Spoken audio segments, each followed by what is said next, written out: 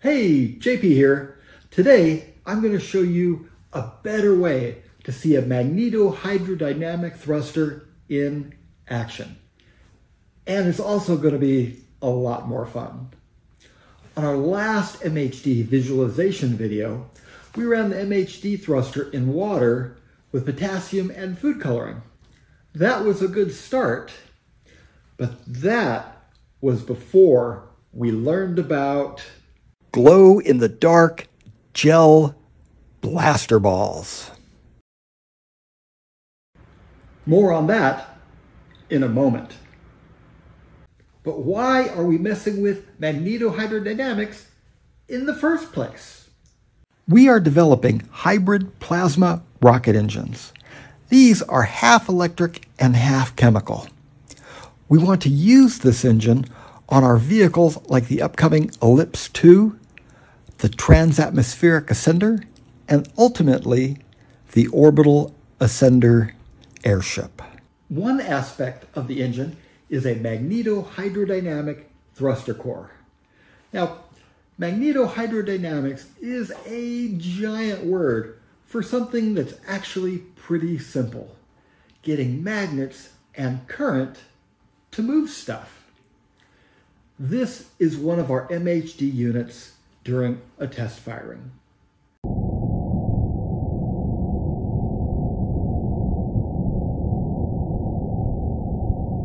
We have the unit instrumented and get a lot of data. And you learn a lot also by looking at the flame. However, what's really happening is happening inside the core. Personally, I find there's nothing like a good visualization to help you understand your system. But you can't see inside. If you try, you're going to get your face burned off. In our earlier video, we did it with water, potassium, and food coloring to get a slow motion glimpse of the action. Here's what that looked like.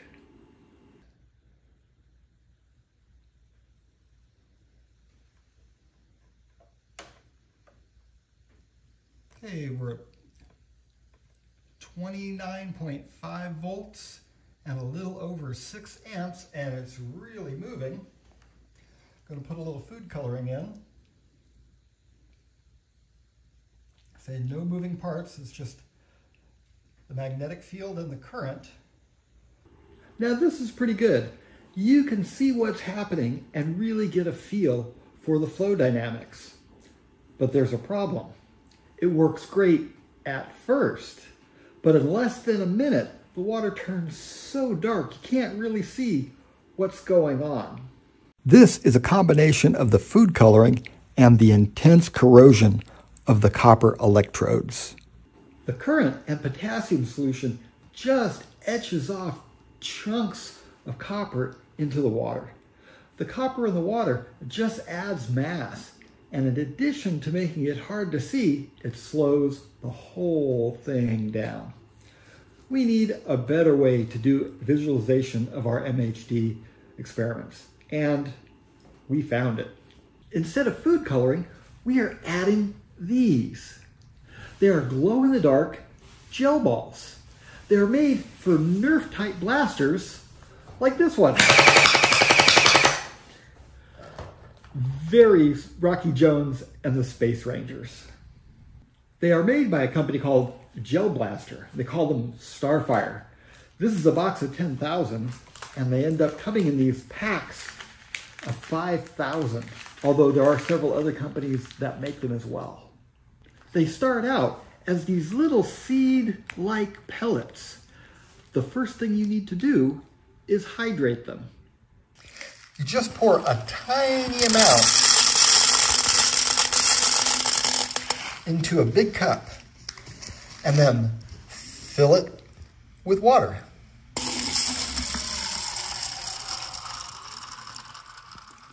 These really expand and it's easy to make way too many. We just need a handful for our test. Now this needs to set for about four hours to soak. Four hours later, and they're ready to go. just for fun, let's see what these gels look like in action.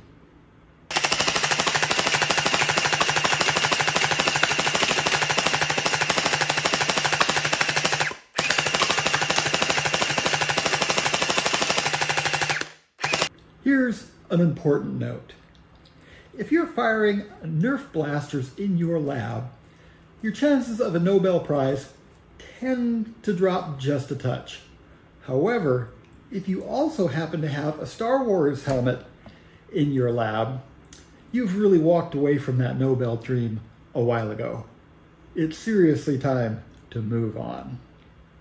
Now that we've splattered our friendly neighborhood Star Wars Stormtrooper, it's time to put the gels into the MHD thruster core and take a look at the magnetohydrodynamic flow. If you're interested in the glow gel balls for your own experiments or the toy gel blaster just for fun, there is an Amazon link in the description below. We are members of the affiliate program on Amazon, so we get a portion of any sale and it helps keep the program going. Remember, this is just one aspect of the plasma engine. We're combining the MHD core with a hybrid chemical engine, a linear accelerator, and an RF plasma tuner to make the complete engine. Okay, let's assemble the unit. The first thing we're going to do is put clear tape over the sides of the electrodes, leaving only the ends exposed. This will help cut down on the corrosion caused by the oxidation and help keep the water just a bit cleaner. We've taped two neodymium magnets to the bottom of this Tupperware. We've done it so that the south side will be facing up into the unit during the test. Now we're going to take the MHD core and place it in the Tupperware we're going to center it right over the magnets, at least the electrodes right over the magnets. And then we're just going to tape it down with electrical tape.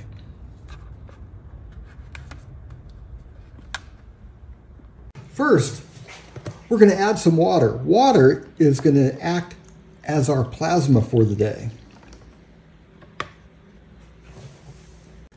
Water is a rather lousy substitute for plasma so we're going to add some potassium in the form of potassium chloride or Nu-Salt into the mix just to give it some more ions. And we're going to be pretty generous with it. We want to get it nearly the saturation where it can't actually hold any more potassium in the water.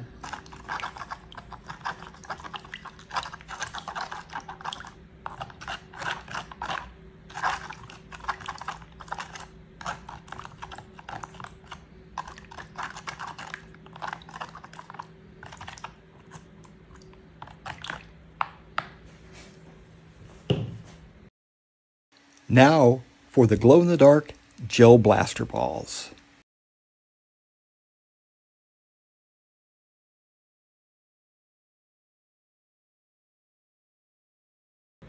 Now we're going to add some power.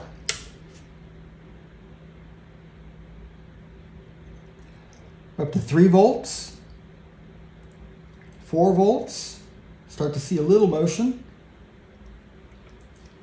6 volts, 18,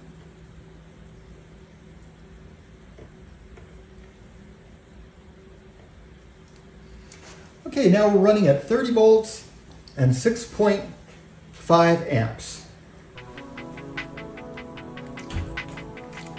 And that is an MHD thruster in action.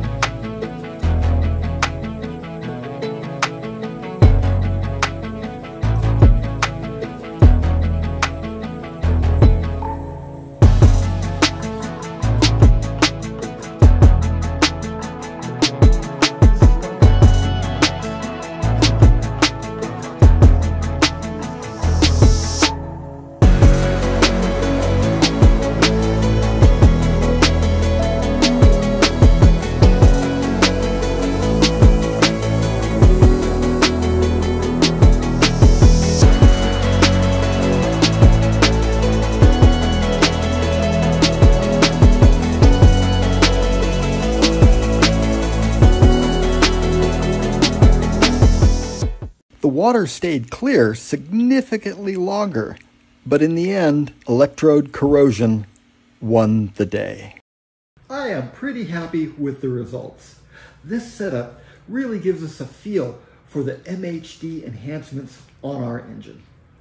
But if we want to take it just a bit further, there are some additional mods we could make. First, we could hydrate the gel balls with potassium in the water. This would give the magnets a little more to grab onto and more accurately reflect the rocket exhaust gases. Second, we could put the MHD unit in a long, narrow water container. The balls would just shoot through once instead of having them cycle around and around like on this test. We'd use a lot more of the gel balls, but it would be a more accurate reflection of what was happening in the rocket. And third, we could completely coat the electrodes in plastic dip, except for the ends.